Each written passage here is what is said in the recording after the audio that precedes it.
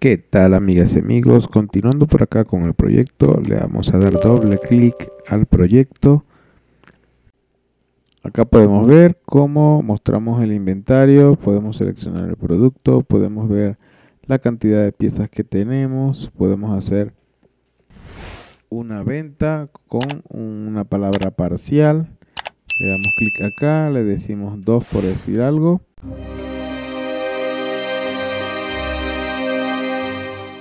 Y vamos a ver qué teníamos hasta dónde teníamos el avance. Vamos a maximizar esto por acá.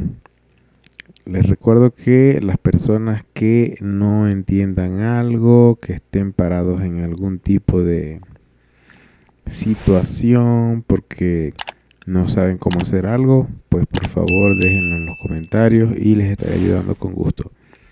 Aquí estoy haciendo una prueba de una pantalla de 800 por 600 y como pueden ver no se ajusta exactamente a la ventana. Y pues también buscamos que este programa se adapte a 800 por 600 entonces podemos ver que hasta la I. Deberíamos dejar eh, lo que es el formulario. Entonces obviamente para arreglar esto lo que tenemos que hacer es reducir esto. Bien este sacrificaríamos parte de lo que es el monto o los montos o en todo caso eh, podemos reducir lo que es la letra. Esto lo dejo para que ustedes lo puedan hacer obviamente. Cada quien pueda modificar esto a su gusto. Mientras tanto yo voy por acá a colocar esto más más para acá calculando que de veras nos dé el ancho como debería.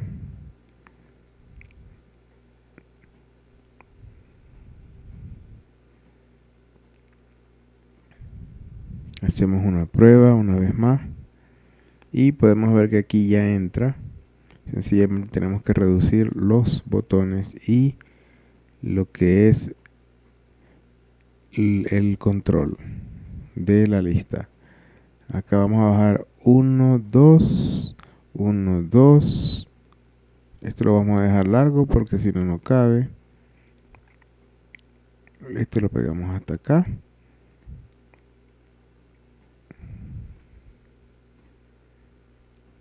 Uno, dos. Esto lo pegamos hasta acá.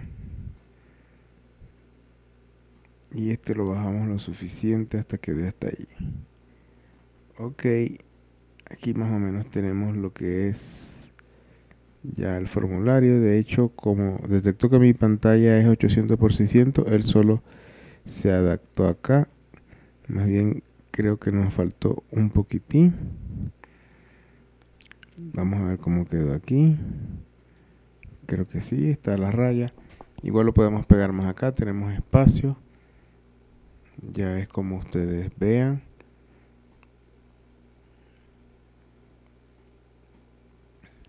creo que aquí estamos bien. En todo caso podemos bajar más acá. Este lo podemos pegar más acá.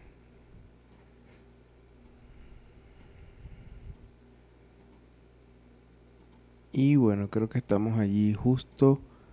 Creo que estamos justo en la raya donde queremos o como queremos que salga esto y bueno, recuerden que esto lo pueden modificar ustedes a su criterio, a su antojo.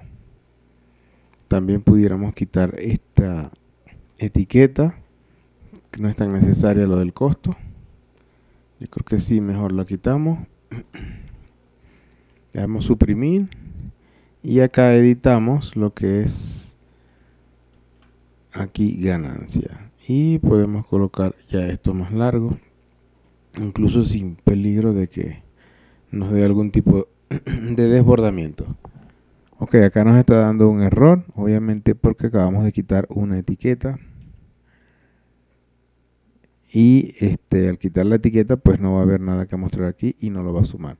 Fíjense que ya para lo que es lo que es mi pantalla de 800 x 600 cabe perfectamente. Ok, haciendo un repaso de lo que llevamos. Si le damos doble clic por acá al formulario en un lugar vacío, podemos ver que habíamos importado lo necesario para usar la base de datos.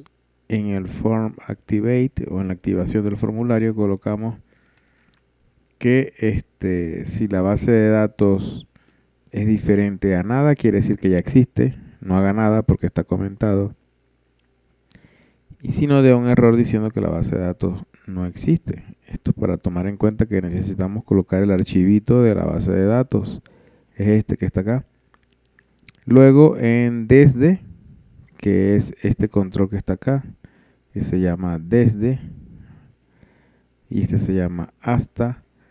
Desde, recordemos que desde también puede llevar la palabra punto caption sería lo mismo o text porque es un text box perdón punto text. Esto sería lo más adecuado pero Visual Basic 6 le permite no colocar esto. Estamos agarrando y la fecha la estamos convirtiendo al formato que necesitamos que es de la base de datos que no es este sino al revés primero el año después el mes y después el día y actualiza es una función que hicimos que toma las dos fechas y nos muestra las ventas que tuvimos en esas dos fechas y aparte nos llena las etiquetas que tenemos arriba, las que nos da los precios de venta, etcétera, etcétera. Por aquí estamos claros. En el form load, que es lo que se carga antes de que se vea el formulario, tenemos solamente lo que es el llamado a la base de datos como tal la creación, la apertura, etcétera. Y luego tenemos esto que está acá, que creo que no lo había explicado. Esto es el form unload. Recordemos, o les explico para los que no saben, que cada cosa que está acá es un objeto en Visual Basic. Por ejemplo, si yo estoy seleccionando el formulario, fíjense que dice aquí form, yo acá estoy seleccionando image, acá estoy seleccionando un level si yo hago doble clic, por ejemplo, en el formulario, aquí arriba podemos ver el objeto que tengo seleccionado. Estos son todos los objetos que tengo ahora mismo en mi proyecto. Ahora mismo tengo seleccionado form. Y esto que está acá son los eventos que permite este formulario.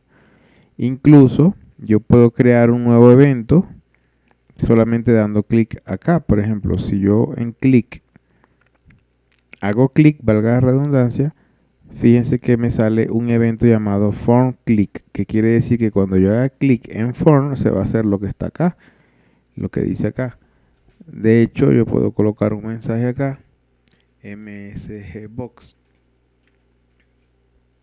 diciendo hola. Creo que esto es ¿Qué quiere decir esto? Que cuando yo haga un clic en el formulario me va a decir hola. Fíjense, así de fácil es Visual Basic. Es un lenguaje orientado a eventos. Entonces podemos programar todos los eventos que hagamos sobre los objetos. Obviamente estaríamos limitados a los eventos que ya están preestablecidos. No quiere decir que no podamos crear eventos nuevos, pero ya sería una programación mucho más avanzada que se haría por acá por los controles de usuario, los módulos, etcétera, que no es el caso para este, este video o tutorial. Entonces, ¿qué necesitamos? Ya tenemos lo de las dos fechas, tenemos actualizar, necesitamos vender. Yo pienso que necesitamos vender y necesitamos el inventario. Eh, con el programita que les mostré en el video anterior, les voy a dejar por acá un link, eh, podemos agregar productos al inventario sin la necesidad de hacerlo todavía por acá. Eh, eso nos facilitaría las pruebas. Yo ya tengo algún tipo de producto cargado allí. Entonces lo que podemos hacer ahora mismo es que eh, el inventario nos muestre por lo menos lo que es eh, el producto que tenemos asignado. Ok, para agregar un nuevo formulario lo que vamos a hacer es clic derecho, agregar, le decimos formulario, seleccionamos el primero y acá lo tenemos. Lo primero que tenemos que hacer es cambiar el fondo por el color blanco o el que ustedes deseen. Yo por mi parte voy a colocar acá el código que ya tengo, que les voy a explicar para qué funciona y cómo funciona, aunque es parte de lo mismo que ya hicimos en el formulario 1. Lo primero es llamar lo referente a la base de datos, lo segundo es que cuando el form se actualice, se cargue, se active, actualice, ¿qué es lo que va a actualizar? Va a listarnos lo que es el producto en una lista llamada lista, valga la redundancia, que vamos a colocar ahora mismo. Y vamos a colocar también otra lista que se llame índice. Como no la tenemos ahora mismo, la voy a comentar. Vamos a comentarla porque ahora mismo no la vamos a estar usando. Sencillamente vamos a utilizar solamente lo que es lista. Ok, acá les explico rápidamente, hacemos una consulta se selecciona todo del inventario. Y luego, antes de hacer el ciclo, donde me va a mostrar todos los productos eh, de manera fija, esto lo va a agregar a la lista, que es sencillamente el encabezado de la fecha, producto, cantidad, costo y precio. Es lo que nos va a salir en la lista. Y acá tenemos que cuando el formulario carga, igual, ya vamos a la base de datos sin problema. Y acá que cuando el formulario se descarga cerramos la base de datos. No lo terminé de decir adelante porque me desvié explicándole lo que era este, las propiedades o lo que son los eventos del objeto. Las propiedades son estas que están acá. Estos son los eventos. Entonces, eh, uno de los eventos del formulario es descarga. Y descarga lo que hace es que ejecuta lo que está aquí adentro una vez que se descargue el formulario. Descargarse el formulario quiere decir que se saca de memoria, se cierra la instancia y él mismo se deja de procesar. No puedo decir que se deja de ver porque hay una forma de hacer que se deje de ver con la propiedad visible, eh, esta que está acá, visible, y eh, obviamente que no se vea no quiere decir que no esté funcionando en el fondo. Entonces, la mejor palabra para describirlo sería descargarse se descarga de memoria. Ok, sencillamente lo que vamos a hacer es agregar la lista. Una lista acá. Ahorita vamos a ver si el ancho es correcto. Acá podemos cuadrar esto como queramos, el control. Eh, yo por lo menos por mi parte lo estoy colocando en fix single, que es para que no tenga ningún otro control. Acá le podemos cambiar el nombre y llamarlo inventario. Mayúscula, minúscula, como ustedes quieran. Le damos guardar. Vamos a guardar el formulario como inventario.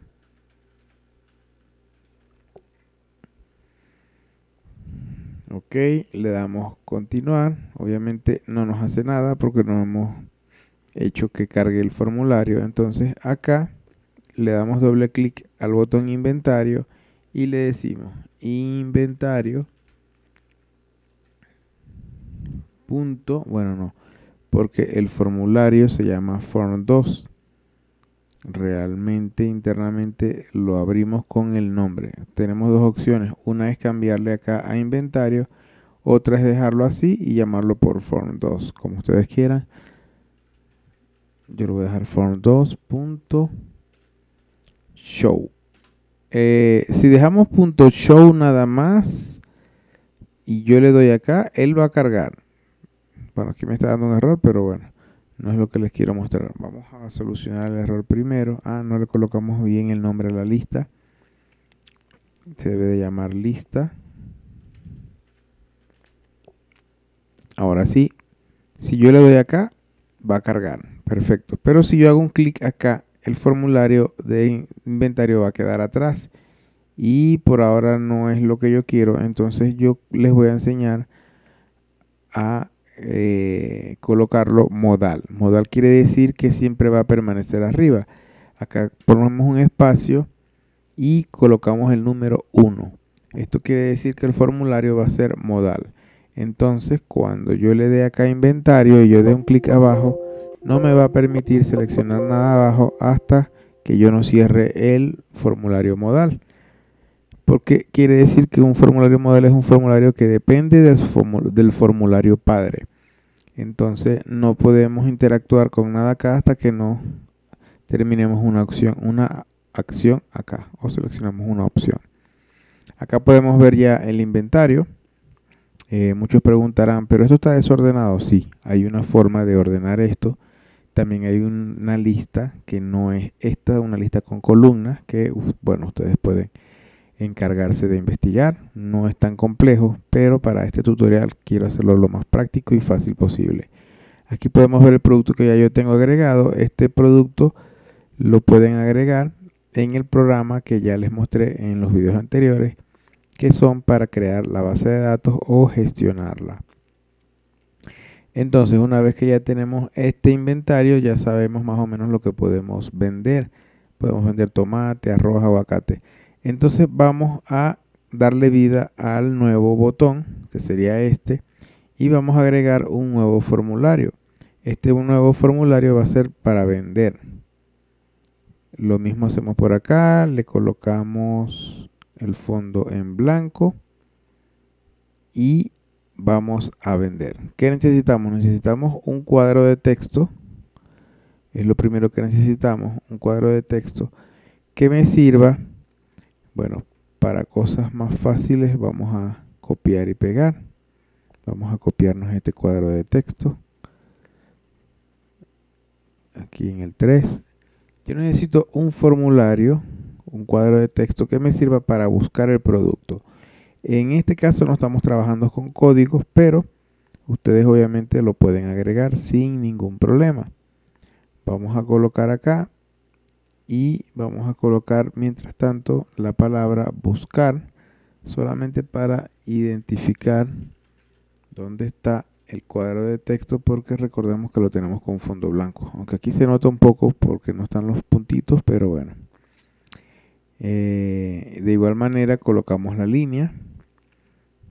Colocamos la línea acá que nos va a servir para saber dónde está también el formulario le cambiamos el color por algo más gris y le cambiamos la propiedad al formulario. Recuerden que esto es personal cada quien lo puede hacer a su manera.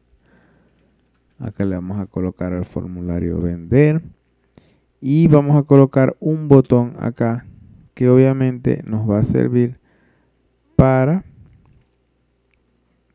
como bien dice el botón que me voy a copiar, dice buscar. Entonces, una vez que coloquemos una palabra o parte de una palabra y le demos a buscar, se nos va a llenar una lista acá, la cual vamos a hacer un clic sobre ella.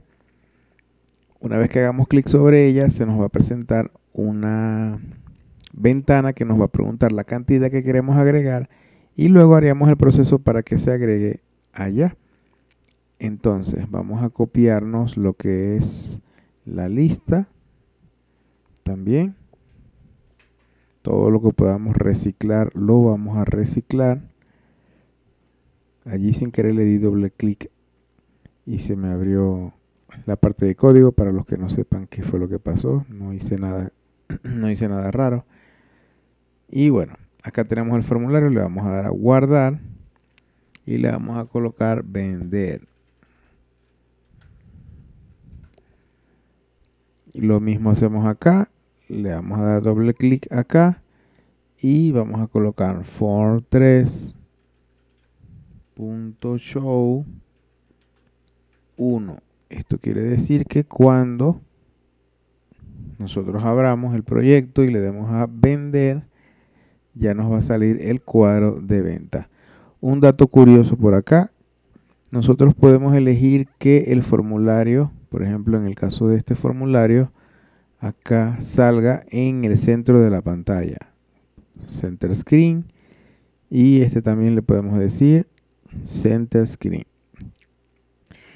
Estas propiedades que están acá también las podemos nosotros eh, escribir en código directamente. Por ejemplo, esta se llama Startup Position y la selección es número 2. Entonces, si por ejemplo yo le doy acá al botón de vender y yo coloco acá form tres puntos, me van a salir todos los, los posibles propiedades, incluso esa que acabo de nombrar. Fíjense que acá la voy a buscar, start position, y le puedo decir que sea igual a 1, vamos a suponer. Cuando uno es, cuando uno es manual, eh, center owner. Entonces yo le doy clic acá, le doy vender y bueno, me está dando un error acá. Pero bueno, esto no es lo que queramos, no vamos a perder tiempo en esto ahora. Obviamente debe haber una contradicción porque acá le estoy diciendo 1 y por las propiedades le dije que 2. Pero bueno, eso no, no viene al caso. Es solamente para mostrarle que nosotros podemos alterar las propiedades de un formulario inclusive antes de ser cargado o mostrado eh, por medio de la función que lo va a abrir. Entonces acá podemos ver que ya tenemos más o menos el software funcionando.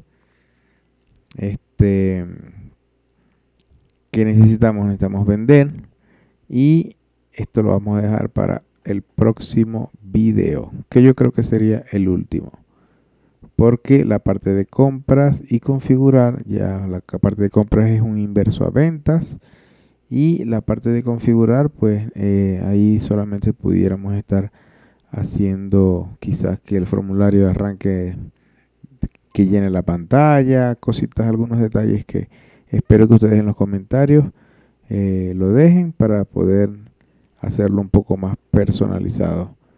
Entonces con esto me despido y saludos. No se olviden de suscribirse y darle like al video para que llegue a más personas y podamos ayudar a más gente. Y en base a esto, según las personas que comenten, que lleguen, hagan algún tipo de feedback hacia mí con respecto al software, pues vamos mejorándolo y haciéndolo mejor.